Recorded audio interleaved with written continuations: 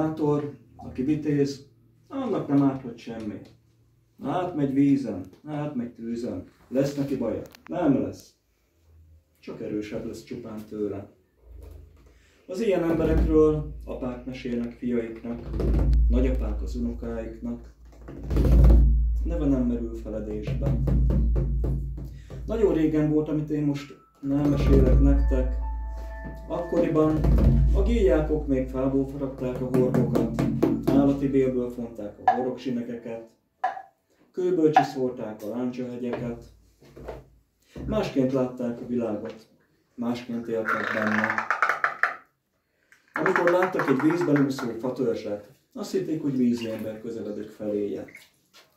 Ha egy különleges formájú fát láttak a tajgában, faembernek vélték.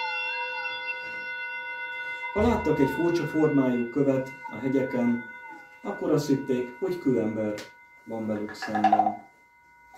Nagyon régen történt ez. Valamikor nagyon régen a gíjákok érdegéltek az Amurpart mellett. Egyszer jobban, egyszer rosszabbul.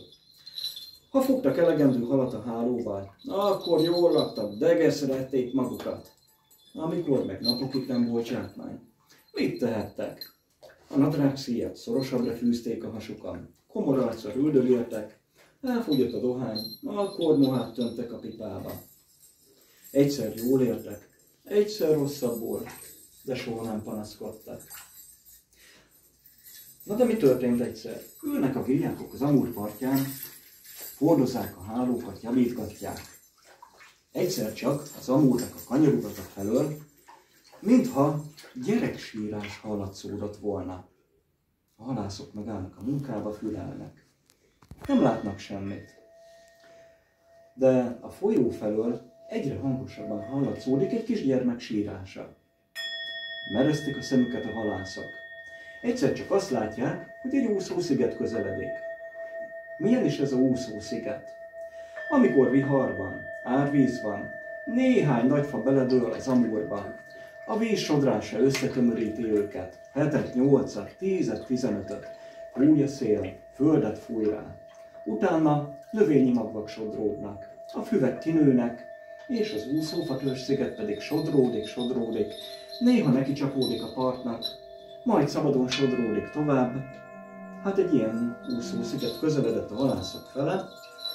Bizonyos Pletun a legidősebb halász nézi, és azt mondja, Látom, hogy egy pózna van a közepén, rajta forgács szizeg, és egy vörös rongy is ott libeg. Tudjátok ezt mit jelent jól? Valaki van azon a úszó szigeten. Az a pózna azért van, hogy a rontás kerülj el, aki utazik rajta. A forgácsok is ezért védik az ártatlant. Egy gyermek, az amúr közepén egyedül. Ki tudhatja, hogy mi történt? A fekete halál vitte el a szülőket. Gonosz ellenség ölte meg. Mit csinál ilyenkor a szülő? Fogja magát, és jó emberek oltalmára bízza a gyermeket. No, hát gélyek a gélyákon, miért is ne segítene?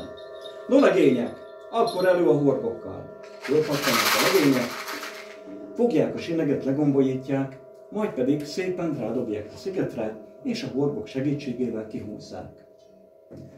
Mit is látnak? Látnak a sziget közepén egy bölcsőcskét. A bölcsőben egy csetnyi gyermek, fehér a bőre, mint a hó, arca kerek, mint a telihold, szeme ragyogó fekete csillag. Az egyik parány kezében íjat tart, a másikban nevezőt. Ezt mondja Platon. Na ez igen. Nagy vadász lesz belőle, micsoda férfi lesz belőle, csecsemő, és már is evezőt, és vadászfegyvert szorongat. Legények, nekem nincsen gyermekem, és azon tűnődök, ha már a sors ide sodorta ezt a gyermeket. Mi lenne, ha fiammal fogadnám?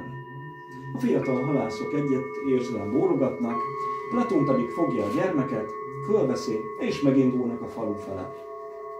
Néhány lépés után a legények azt mondják, te Platon, hát a gyermeked percről percre növekszik.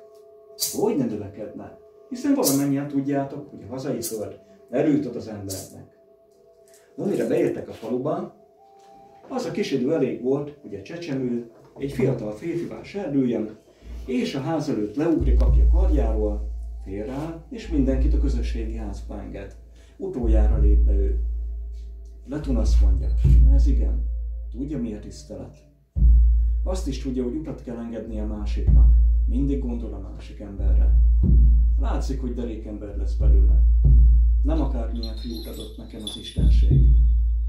Amikor a nagy közösségi házba beülnek, akkor a fiú föláll, ránéz az apjára, az apja gondolkozik, majd azt mondja, neked még nincs neved. Legyen a te neved Azmon. Mindenki helyeselt a népválasztás, Azmon pedig azt mondja, na apám, az életed hosszú, eltöröttél már benne. Üljél le szépen, szívjad a pipádat, majd én gondoskodok rólad.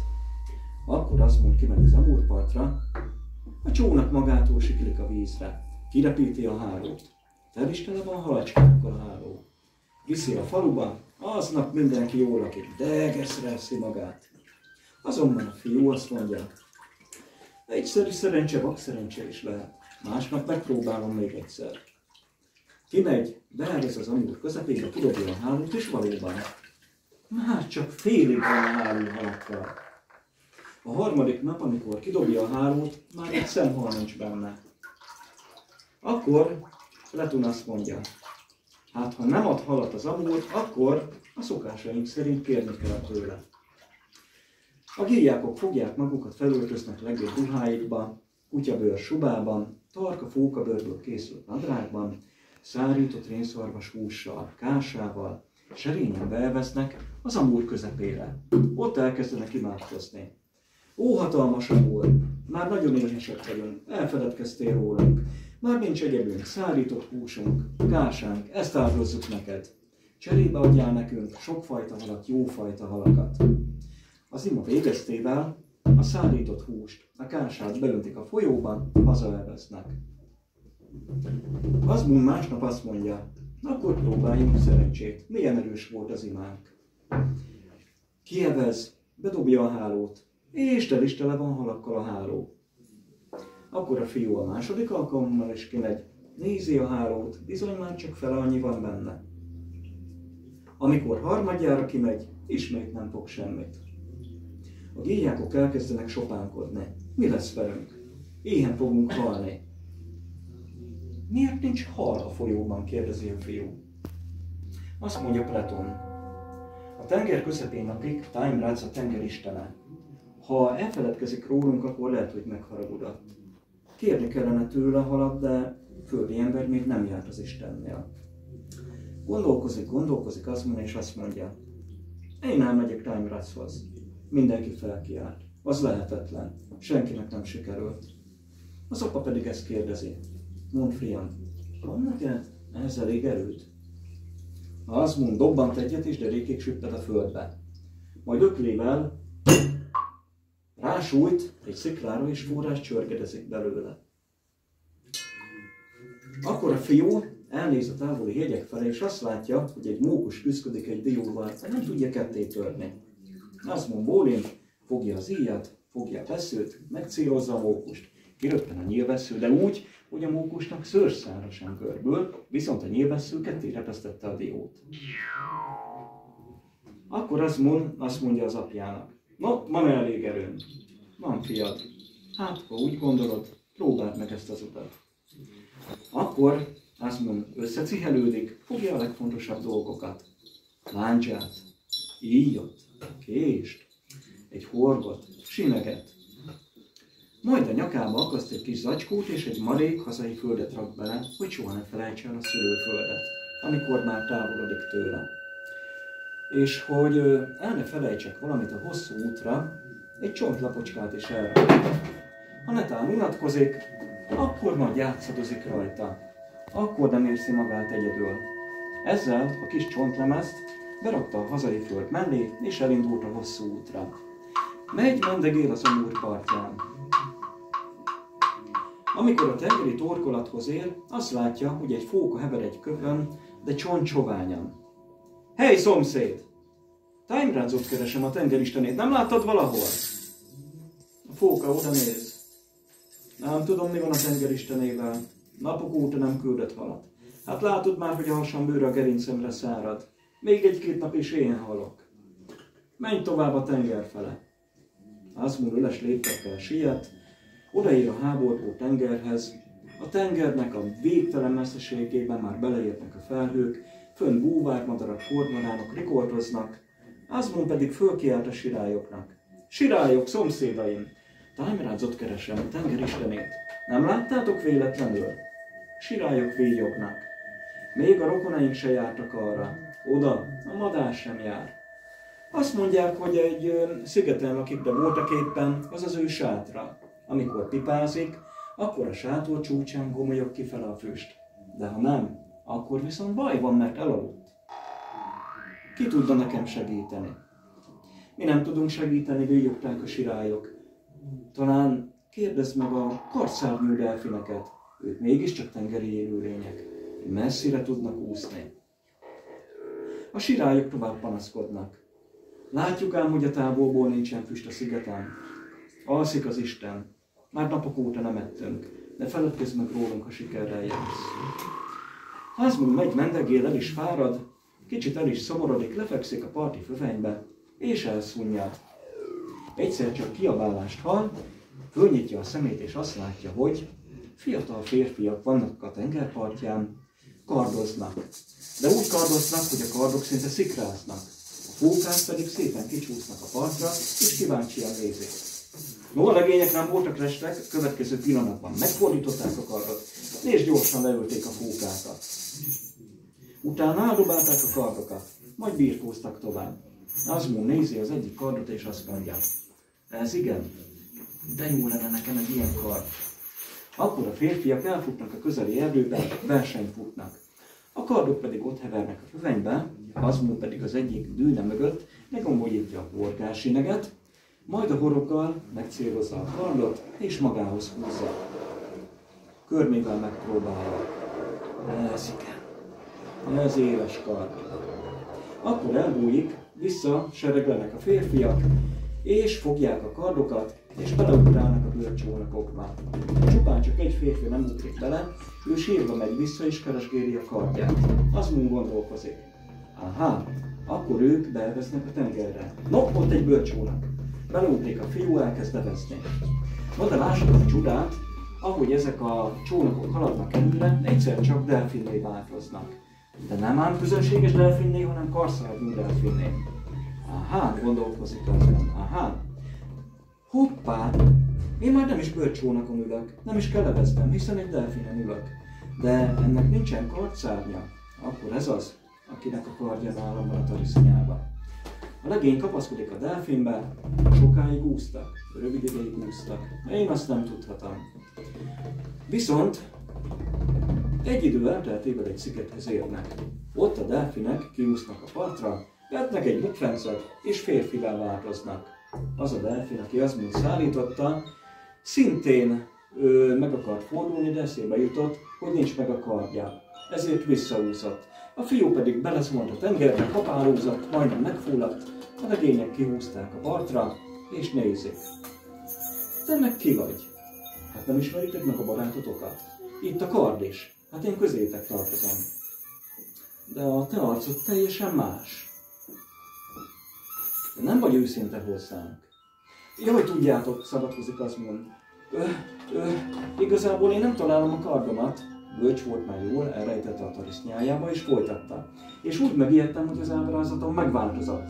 Na, megyek is vissza Tájgrachoz, visszakérem az eredeti ábrázatomat. A legények megnyugodnak, mennek a házikójukban, Asmund pedig nagy léptekkel megy a sziget közepére, és odaér egy hegylábához.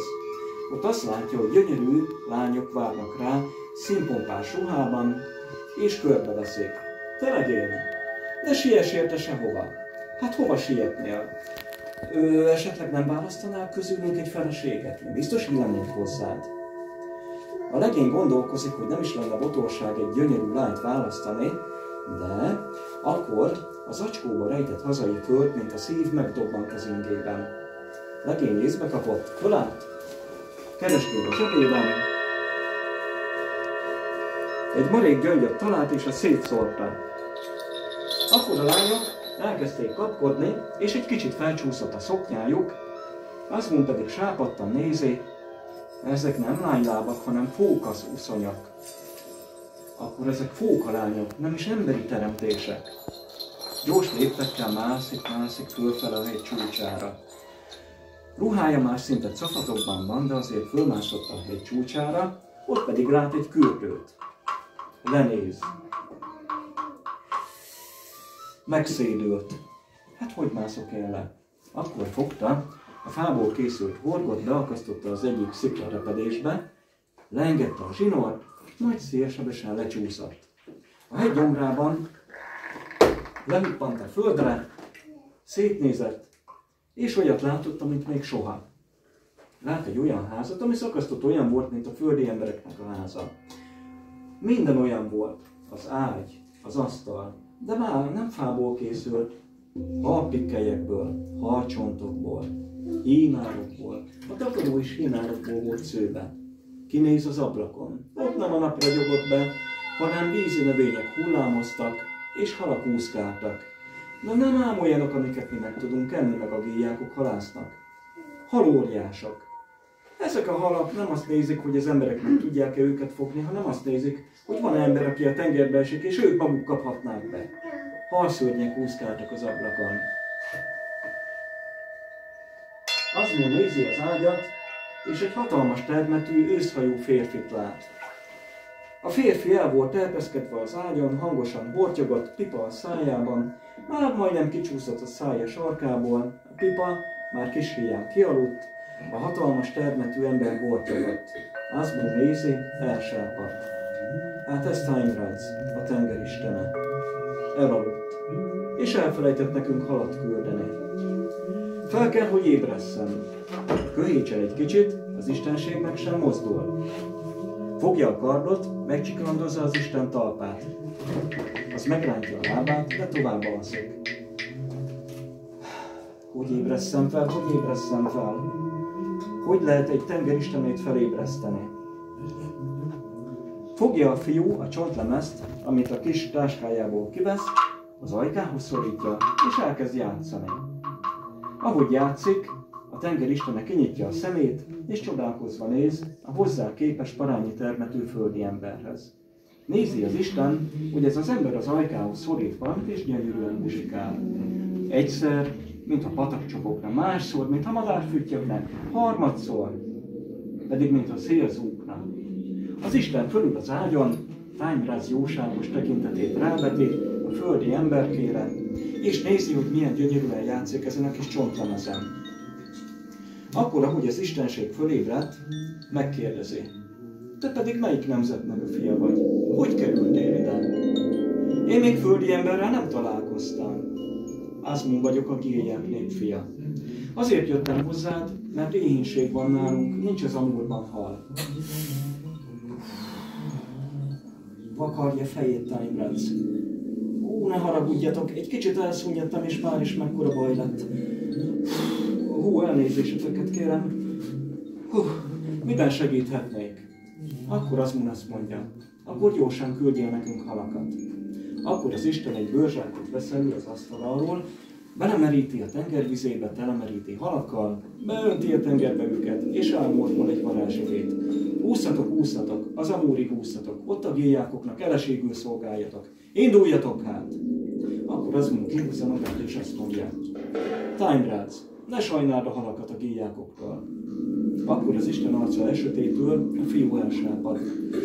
Lehet, hogy magamra haragítottam az Istent? Megijedt a fiú, de azért kihúzta magát, és bátran szembenézett az öreggel. Time szigorúan nézi a fiút, majd megenyhül az arca, és ennyit mond.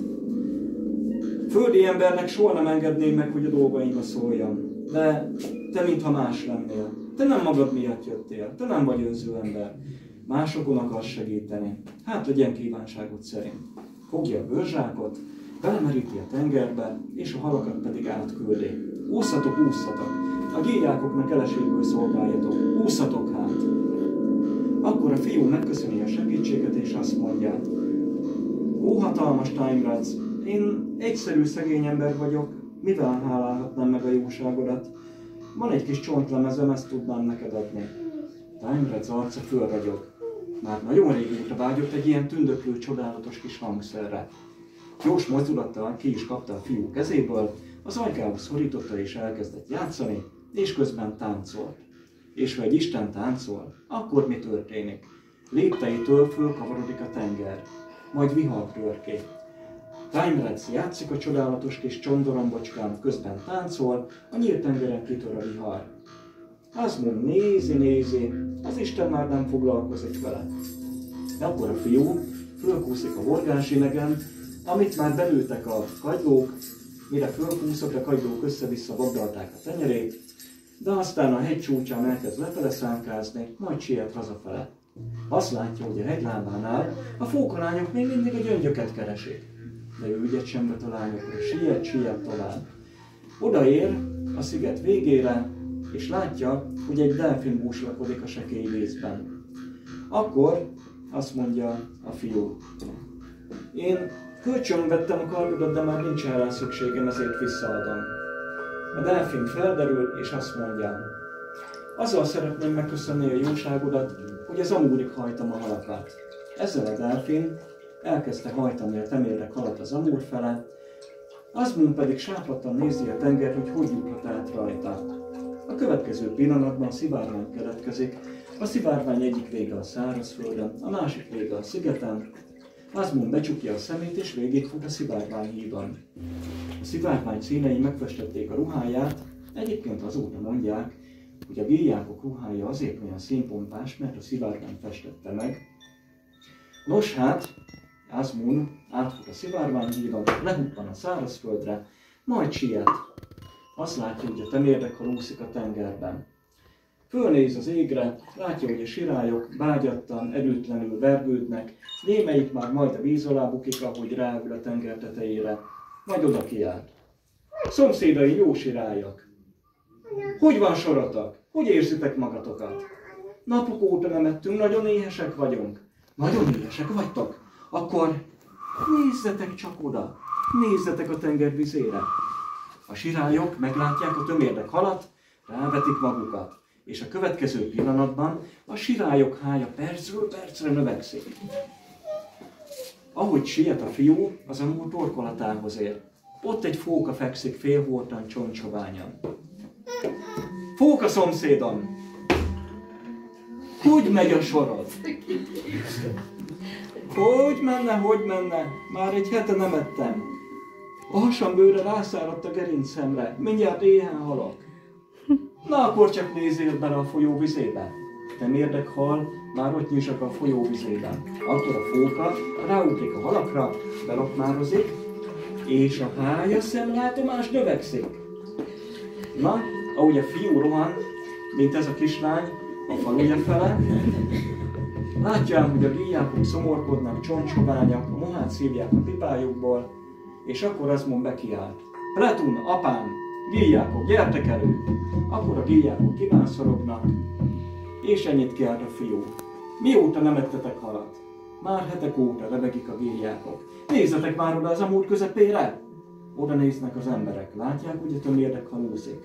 A fiú fogja a láncsát, belevágja, csukott szemmel a folyó közepébe, a láncsa belefúródik egy halba, és az tovább úszik a láncsa a hallal együtt. Na gíjákok, szerencsével jártam el. Mindenki bólogat. Na apám, volt-e elég erőm az úthoz? Volt, fiam. Hogy is kezdődött ez a mese? Aki bátor, aki nem fér semmitől, átmegy a vízen, nem lesz tőle semmi baja. Átmegy a tűzen, nem lesz semmi baja, csak erősebb lesz tőle. Amikor a gíjákok összegyűlnek a nagy közösségi házban, a legöregebbek azt mesélik. Halljátok, hogy dörög az ég? Halljátok, hogy hogy morajlik a tenger? Hogy csapkodnak a villámok? Nézzetek fel az égre. Órom színű felegek vonják be az eget. Fehér kavegyes hullámok futnak a partra. Az égból csak dörög, dörög. Idegesül veri az ablakunkat. De ha nagyon figyeltek a szél zúgásában, a vihar üvöltésében, mintha valami különös hangok felülnének. Halljátok csak? Mintha ürge füttyogne a szél üvöltésben Figyeljél csak, mint a patak csobogása szólt már.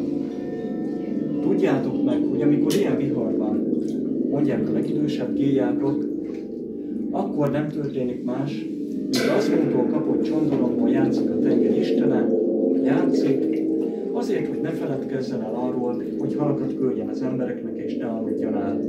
Amikor kint tombol a vihar, és furcsa hangok vegyőnek a vihar üvöltésébe,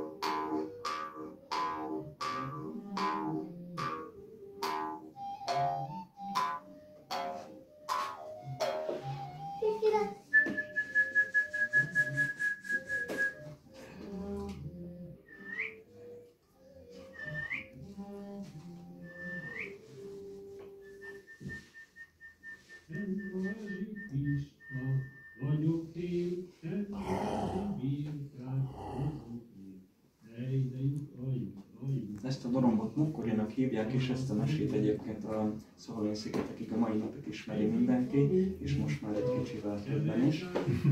Közben látom, hogy a következő program elkezdődött, és nem akarom az Attilától az időt elvenni, úgyhogy azt javaslom, hogy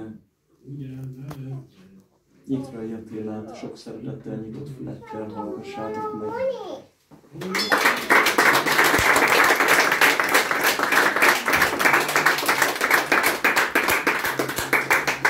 és, és köszönöm a, a spirituális nemzetzenekarnak is az államnak a segítséget. Köszönöm Isten, megtiszteltetés volt. Lehet, hogy kicsit túlültem a műsoridőben.